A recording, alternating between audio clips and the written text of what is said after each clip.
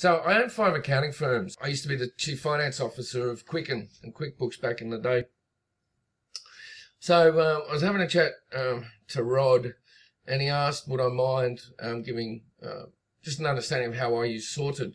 Um, and I suppose he did that because I love the product, and um, I put up a, a review for him. Um, and they saw the review and they said, "Wow, it's so good to see that you're getting a lot out of it." we we've got probably about 20 or 30 people in Australia. And then I've got also a company over in India where we do all our back of house. And my biggest problem has always been keeping people accountable. Um, and it's doing that internally, but it's also doing it externally. Um, if we don't get stuff done or send out to clients, they get penalized by the tax department. Um, and, you know, a lot of the time we try and track stuff, but I can't be sure that everything's getting done. So I signed up to Sortd probably about, oh, it's probably about three years ago. And to be honest, I never really used it. I never got my head into it. I never got around to using it. Um, over the past three months, that's totally changed. It has basically changed my life. Um, the ability to just get stuff out of my head. So I look at emails and God, I get a lot of emails. And you got to understand, I'm juggling five different companies. So I've got business partners, and then I've also got staff. And at the end of the day, I'm the majority shareholder, so the buck stops with me.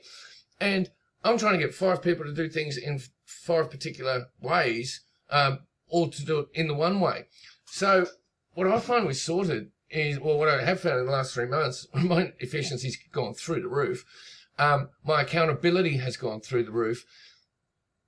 And I know this probably sounds a bit wishy-washy, but when I'm getting emails and I get so many, I now can allocate it to a board um, so that I've got like kind of my own channel and everything to do with that is there.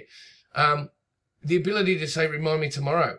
So half of my job, and maybe it's the people I've got working for me, I ask them to do stuff and they don't always do it. And I'm extremely hands on. I don't have a PA. So a lot of the stuff I have to do myself. Um, and it's just the way our business is, is structured and standard. So Sortd has taken away that thinking component for me. And what I've started doing too is using it for the teams because we're getting the work out from Australia and we're shipping it out to India. So we want to make sure that they're getting the jobs done and everything's happening. Now, we've used Salesforce. I've used Active, well, I still use Active Campaign for something different. We tried to use Slack. We tried to use Google Hangouts. We tried to use chat. We've tried, like, there's a whole bunch of stuff we've tried to use. We used Asana to make sure stuff was getting done. We use Trello.